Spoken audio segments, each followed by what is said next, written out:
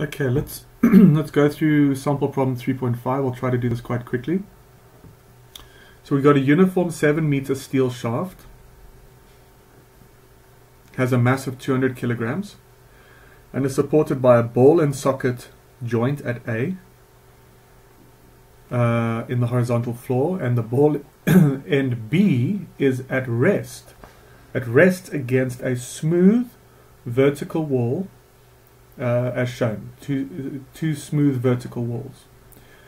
Compute the forces exerted by the walls and the floor. Okay, so step one, free body diagram. So now we're dealing with a three-dimensional problem and we have smooth walls here. So how are we going to replace that? Okay, so Remember, we've got a certain kind of support reaction, and then we replace it with a force in our free body diagram. And so if we've got a smooth surface, then all we do is re replace it by a normal force. So can you see that there's a smooth surface there, and the normal force would be there. So um, we choose x in this direction, y in that direction, and z in that direction. So that's by, it's a normal force. There's no friction, so there won't be any tangential force. Similarly, we have Bx, uh, so there's a force acting in the x direction, Bx. Okay, so make sure that you understand that part. Then we've got a ball and socket. Here's a ball and socket joint. Remember, if you replace the that uh, that reaction, that support, then you have to replace it with the forces that it could potentially cause, and that resists motion in the x, y, and the Z, but it does not resist any rotation, so you don't put in a moment there. Okay, are you happy with that? Also, because we're dealing with a body force and the mass is not negligible, we have to include the mass. So there's also a force acting on this member of what?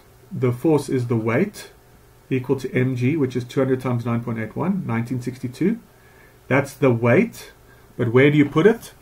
Well, um, I, I think I've said it before that in chapter 5, we are going to look at exactly how to identify the exact location of our center of mass, center of gravity, all those kinds of things.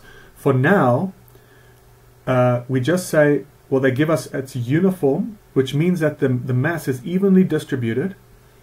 And so we just then assume that the center of gravity is at literally the center of the beam. Okay?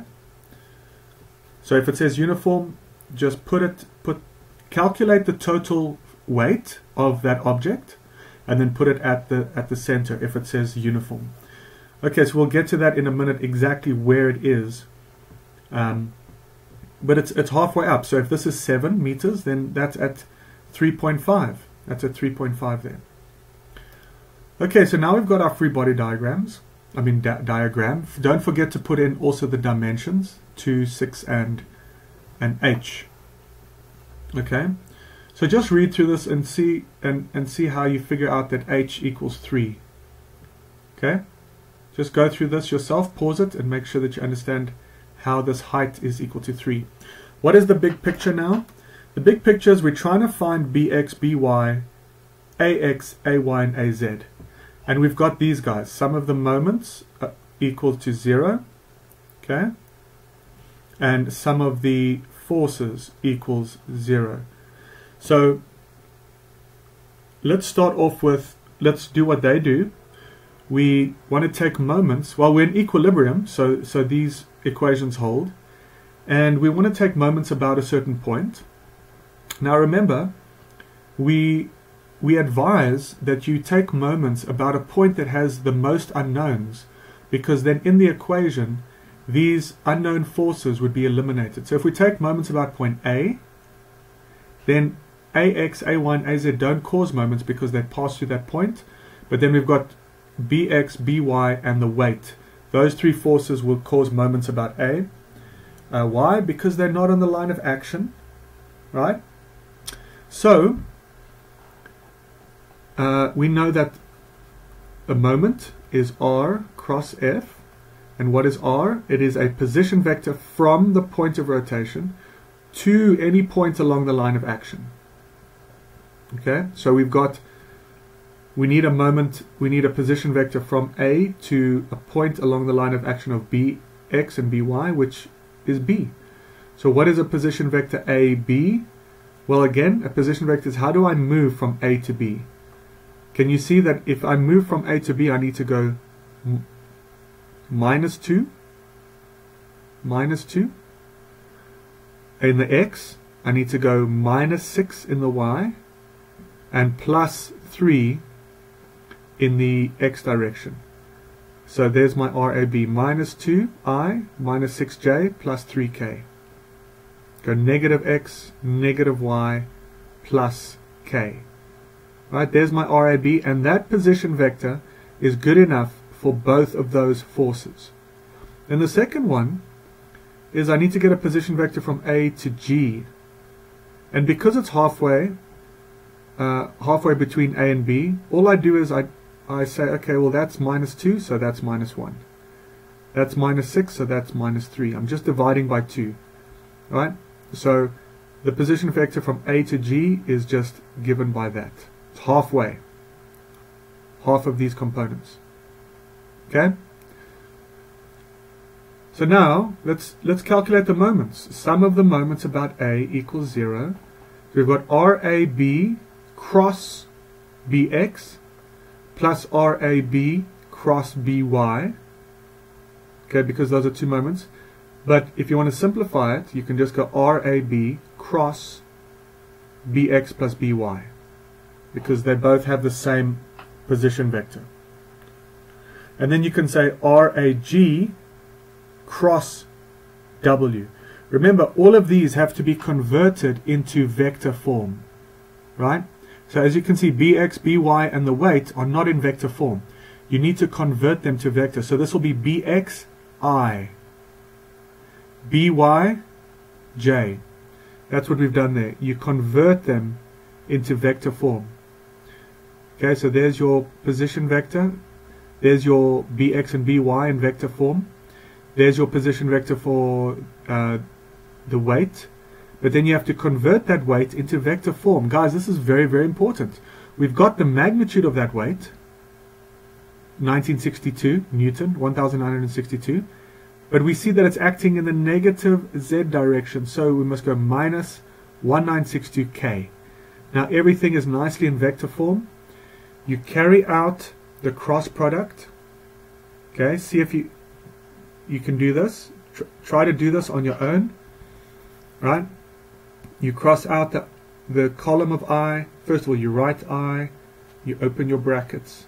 You cross out that column, cross out that row, and you go. You do this motion. Remember, that times that minus that times that. It's got that kind of motion, right? Minus 6 times 0 is 0. Minus 3 times by. And that's what we have there. Now they've grouped the i's, the j's, and the k's here. So they then jump here and they do this one. And they got minus 3 times minus 1962 which is that 5890 minus 1.5 times 0 which is 0 so they've grouped the i's over here and then they do the same with the j's and the k's. Alright and then because we know that sum of the moments about x equals 0, sum of the moments about y is 0, sum of the moments about z is 0. All we do is we take that, we equ equate that to 0. We set that guy to 0 and we set that guy to 0. And we solve for our bx and our by. So please go do that. Set this to 0 and solve for by. Set that to 0 and solve for bx. Okay? So now you've got bx and by. You've got these two components those two forces. Now we want to solve for these guys. Now we can go sum of the forces um, equals zero. And again, we say, what are all the forces acting in the x direction? We've got x, bx, so this is that is a positive x direction, that's the positive y, and that's the positive z. So bx is 654 minus ax, which is which is unknown, and we set that equal to zero, and we solve for ax. Then we've got what's happening in the y direction. We've got by, which is 1962, so it's positive. What are all the forces in the y? Minus ay. And we solve for ay. then we also solve for az. In the same way. az minus weight. Az minus the weight is 0. So we set that to 0 and we solve for az. And we can also calculate the the resultant, the magnitude of ax, of, of a, right? by doing this. Okay guys, so this is a three-dimensional problem. First step is free body diagram. Make sure that you understand this table. You replace all the supports with their, their proper forces and then we carry out sum of the moments and sum of the forces equal to zero. And always remember, remember guys, that in three-dimensional um, problems, it is so much easier. It might look more difficult but it's actually a lot easier. And sometimes it's the only way is to convert into these vector forms. Okay? And not to, you can do a scalar method. So I haven't gone through exactly this, but um, you can go through this also on your own make, to see if you can use a scalar solution. Alright guys,